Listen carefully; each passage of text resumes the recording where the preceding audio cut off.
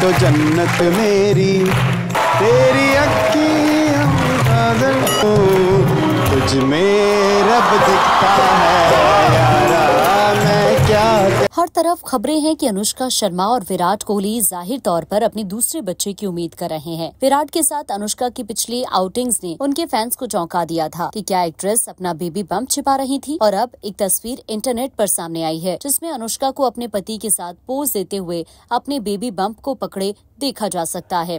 तो चलिए जानते हैं इस वायरल फ़ोटो का सच क्या है। वायरल तस्वीर में अनुष्का ने साड़ी पहनी हुई थी, जबकि विराट पारंपरिक सफ़ेद पहनावे में उनके बगल में खड़े नज़र आ रही थी। कैमरे के लिए पोज देते समय विराट ने अनुष्का के कंधे पर अपनी बाहें रखी थी और वो प्रेग्नेंट लग रही थी। तस्वीर में दोनों खुशी से पोज देते नज़र आ रहे थे। जल्दी फैंस ने दोनों को उनकी दूसरी प्रेगनेंसी पर शुभकामनाएँ और आशीर्वाद देना शुरू कर दिया। फ़ोटो में अनुष्का सात या छह महीने की प्रेग्नेंट लग रही हैं। हालाँकि ये वायरल फ़ोटो पुरानी तस्वीर है, जो एडिटेड लग रही है। 2018 में दिवाली सेलिब्रेशन के दौरान अनुष्का और विराट ने एक जैसे आउटफिट पहने थे। अनुष्का ने इंस्टाग्राम पर अपनी दिवाली सेलिब्रेशन की एक अलग तस्वीर भी शेयर की थी। वो अपने अपार्टमेंट की बालकनी में पोज देते नज़र आए। उनके भाई कर्णेश शर्मा ने भी यही कपड़े पहने हुए उनकी तस्वीर अपने इंस्टाग्राम स्टोरी पर शेयर की थी।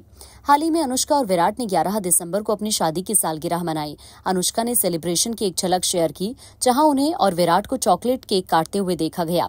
बैकग्राउंड में उनके परिवार उनके लिए चीयर कर रहे थे। अनुष्का ने सिल्वर वर्क वाली ऑफ़ शोल्डर ब्लैक ड्रेस पहनी थी, जबकि Virat formal navy blue shirt और डेनिम जीन्स में बहुत हैंडसम लग रहे थे।